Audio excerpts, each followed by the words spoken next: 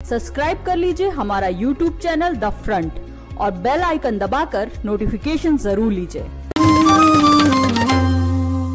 नमस्कार, मैं हूँ विवेक प्रकाश और आप देख रहे हैं द फ्रंट। लगभग तीन साल के संघर्ष और अपने तीन परिजनों को खोने के बाद आखिरकार उन्नाव की गैंगरेप पीड़िता को आज न्याय मिल गया है। जी हाँ, दिल्ली की तीस हजारी कोर्ट ने कुलदीप सेंगर, उन्नाव के विधायक कुलदीप सेंगर जिस पे गैंगरेप का आरोप था, इस नाबालिग बच्ची के साथ, उसमें कुलदीप सेंगर को दोषी ठहरा दिया है और जल्द ही, शायद 18 तारीख को कोर्ट सजा का ऐलान करेगा। इस पूरे मामले पर बातचीत करने के लिए और समझने के लिए हमारे साथ हमारे संपादक राणा यशवंत जी हैं। राणा सर, लगभग तीन साल का संघर्ष और तीन परिजनों को खोया है इस लड़की ने। और इस बीच में कुलदीप सेंगर की जो उनका इन्फ्लुएंस रहा, उसकी वजह से कई सारे प्रेशर और कई सारे दबाव और कई जिंदगियाँ एक तरीके से दाव पे लगते हुए, लगती रहीं और आखिरकार आज न्याय मिल गया उन्नाव की गैंगरे पीड़िता को। क्या कहेंगे आप? विवेक, इसमें कोई दो राय नहीं है कि तीस हज़ारी कोर्ट का जो फैसला है, ये उन तमाम लोगों के लिए बड़ी राहत है। उस लड़की के लिए खासकर जो आज भी ज़िंदगी और मौत के बीच है और वो कहीं ना कहीं उसके हिस्से में इंसाफ आया है। लेकिन इंसाफ आते आते आपके सामने आपकी व्यवस्था की बहुत बड़ी पोल खुलती है कि एक आदमी जो आपराधिक प्रवृत्ति का है जो दबंग है और अपने रसूख के बूते अपने राजनीतिक या सत्ता के बूते उसने सब कुछ दबा लेने की कोशिश की और बहुत लंबी लड़ाई के बाद अगर एक लड़की को इंसाफ मिलता है तो तीन बातें साफ़ होती हैं। पहली बात ये कि तीस हजारी कोर्ट में यह मामला लखनऊ से सुप्रीम कोर्ट ने ट्रांसफ़र करवाया। इसका मतलब ये है, के बाद आया। इसका मतलब ये है कि आपके प्रशासन और आपकी व्यवस्था पर अदालत को भरोसा नहीं रहा।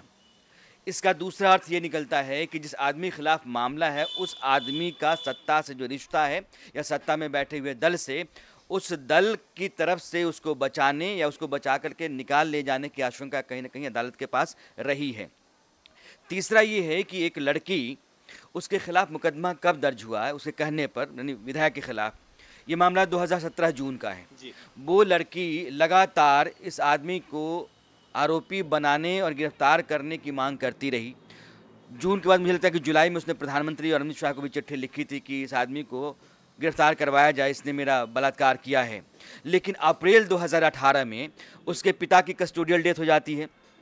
सेंगर के भाई ने उस पर हमला किया, उसकी गिरफ्तारी हुई और उस बेचारे की मौत हो जाती है। वो तस्वीर कितनी विभत्स और डरावनी थी कि उनको जब अस्पताल में लाया गया तो डॉक्टर हंस रहे थे, मज़ाक उड़ा रहे थे और वो दर्द में चीख चिल्ला रहे थे। आखिरकार उनकी जान चली गई। इसके बाद गिरफ्तारी हुई।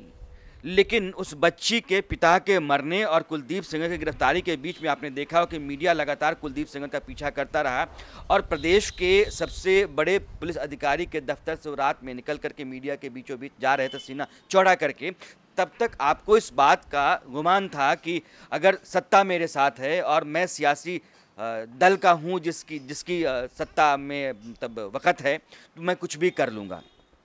यह जितनी भी चीज़ें हैं, ये बताती हैं कि हमारी पूरी जो सत्ता है और सत्ता में जो लोग समाज के जा रहे हैं, ये जो एम एल और अगर वो आपराधिक प्रवृत्ति के हैं, वो अगर दबंग हैं, और वो इस तरीके से अत्याचार समाज के कमज़ोर लोगों पर करते हैं तो उनको बेनकाब करने और सलाखों के पीछे सजा दिलवाने के बजाय सत्ता और सत्ता से जुड़ी हुई एजेंसियाँ बचाने की कोशिश में लग जाती हैं और, और यह कोशिश में पूरा सिस्टम लगा हुआ था जिस तरीके से उन्नाव पुलिस ने शुरू में न तो इस लड़की और उसके परिवार वालों की मदद की। उसके बाद आखिरकार जब मामला भी दर्ज हुआ छः महीने आठ महीने के लगभग आठ महीने के बाद ये मामला दर्ज हुआ सेंगर के खिलाफ। उसके बाद भी परिवार की तरफ़ से लगातार ये बयान दिए जाते रहे कि उनके ऊपर इनके परिवार का प्रेशर है उधर से धमकी दी जा रही है। लेकिन पुलिस समय समय पर चाहे वो कुलदीप सेंगर के भाई के जन्मदिन का मामला हो या कोई भी ऐसा मौका लिखा जैसे हाल में साक्षी महाराज चार दिन दस दिन पहले लगभग साक्षी महाराज ने कुलदीप सेंगर को जन्मदिन की बधाई दी थी। तो सत्ता और सिस्टम से जुड़े हुए लोग कुलदीप सेंगर के साथ हमेशा दिखे न कि उस नाबालिग लड़की के साथ। कुलदीप सेंगर विवेक एक ऐसा उदाहरण है जिसकी तरह के उदाहरण आप देश में देखते हैं फिर लगता है कि नहीं यह जो सत्ता है सत्ता से जुड़े हुए लोग हैं और समाज में एक आम आदमी है। इन दोनों के बीच में एक फासला है और फासला है इंसाफ को लेकर के फासला है सच्चाई को लेकर के।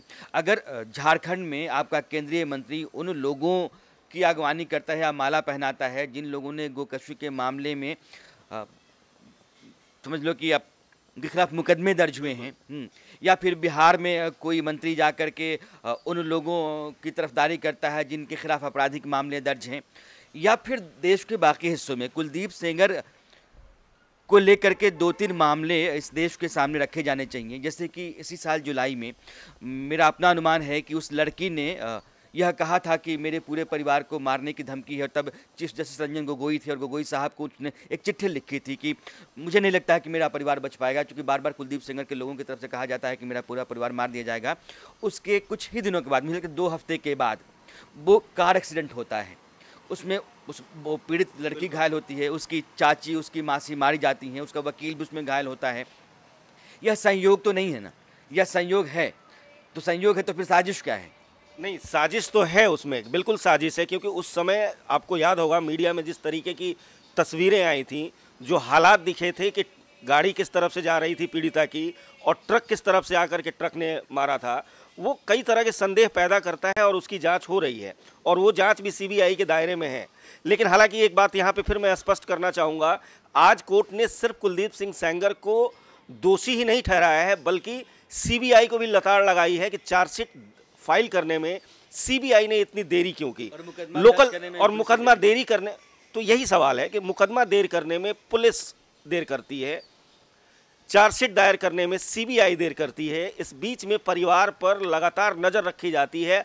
आप पीड़िता के घर के बाहर की जो तस्वीरें देखेंगे या कुलदीप सिंह सेंगर के घर की जब तस्वीरें देखेंगे तो वहाँ स्पष्ट रूप से दिखता है कि कुलदीप सिंह सेंगर के घर के पीछे के हिस्से में पीड़िता का घर है।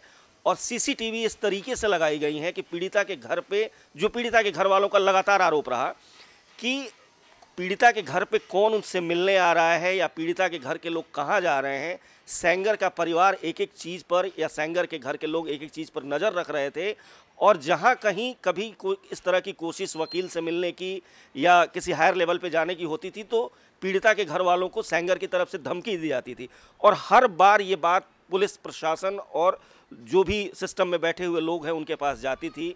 बजाय इसके ये कोशिश हुई कि पीड़िता और उसके परिवार को जान से मारने की कोशिश की जाए और उसका भी मामला चल रहा है। उस पर भी अभी सेंगर के खिलाफ चार पाँच मुकदमे हैं पाँच मुकदमे हैं जिनमें से एक पे फैसला तो आज आ गया।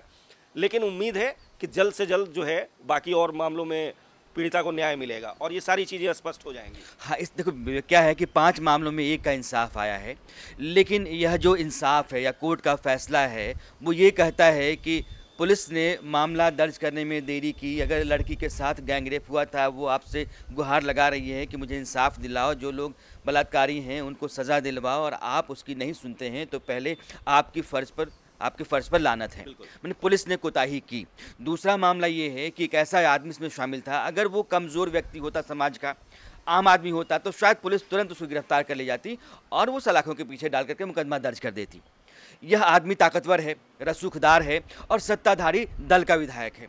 इसलिए आपने उसको अपनी तरफ़ से बचाने की कोशिश की।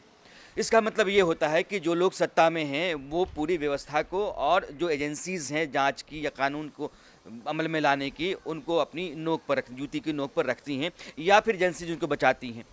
तीसरी बात यह है कि एक दबंग आदमी को आपने सबूत और गवाह मिटाने या उसको दबाने का पूरा मौका दिया। यह आदमी या इस आदमी से जुड़े हुए जितने भी लोग हैं, उन लोगों ने उस पूरे परिवार को लगातार डराने, धमकाने की कोशिश की अभी तक, मुकदमे के आने तक। तो यानी कि व्यवस्था के भीतर अगर मेरा मुकदमा किसी तरीके से दर्ज भी हो गया, वो मीडिया की वजह से हुआ। लड़की के लखनऊ में जा करके अपने ऊपर तेल छिड़क करके जलाने की कोशिश की वजह से हुआ।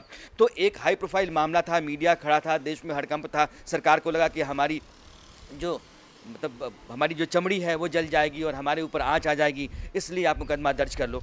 लेकिन अब तक इस इस इस सज़ा के आने तक जितनी भी बातें रहीं, परिवार या लड़की, इस साल जुलाई में भी लिखती है देश के सबसे बड़े मुख्य न्यायाधीश को कि आप मुझे बचाइए क्योंकि मेरे पूरे परिवार को मारने की धमकी है। इसका मतलब ये है कि आप रसूखदार हैं दबंग हैं मज़बूत हैं अपराधी हैं और आपके पास लोग हैं तो आप कमज़ोर आदमी को दबा करके और अपने खिलाफ आने वाले फैसले को न आने देने की हर मुमकिन कोशिश करेंगे और व्यवस्था उसमें आपका साथ देगी। यह लगता है ऐसा कि ये यही खतरनाक संकेत है। अगर अदालतों ने इतना डंडा किया है अदालतों ने इतना डांटा है फटकारा है इसका मतलब किसको फटकारा है? एजेंसीज को फटकारा है। किस लिए? क्योंकि आपने अपना काम नहीं किया है। तो कहीं ना कहीं एजेंसीज को लेकर के जो लोगों का संदेह रहता है या उनके ऊपर से भरोसा टूटता है, यह ऐसे ही मामलों से, ऐसी ही घटनाओं से होता है अक्सर और आम आदमी अपने आप को कमज़ोर और ठगा हुआ महसूस करता है और कहता है कि वो तो ताकतवर हैं। तो ये ताकतवर और साधारण कानून की नज़र में तो नहीं होना चाहिए था, लेकिन अगर है, इसका मतलब है कि व्यवस्था में दोष है। चलिए सिस्टम में कई सारी खामियाँ हैं, कई सारे दोष हैं और सेंगर के साथ, सिस्टम और सत्ता का नशा और सब कुछ होने के बावजूद आज आखिरकार उन्नाव की पीड़िता को न्याय मिल गया है। उस पीड़िता को जो तीन साल से संघर्ष कर रही है, तीन परिजनों को खो चुकी है और इस वक्त भी ज़िंदगी और मौत की लड़ाई लड़ रही है। लेकिन ये लड़ाई उसने आज जीत ली है और ये फैसला तीस हजारी कोर्ट का एक नज़ीर बनेगा। कई सारी पीड़िताओं को जो बलात्कार पीड़िताएँ हैं उनको और उनके परिवार वालों को एक एक रोशनी देगा, उन्हें एक उम्मीद जताएगा, एक उम्मीद की किरण लेके आएगा कि जल्द से जल्द उनको भी न्याय मिलेगा। अभी के लिए इतना ही। धन्यवाद।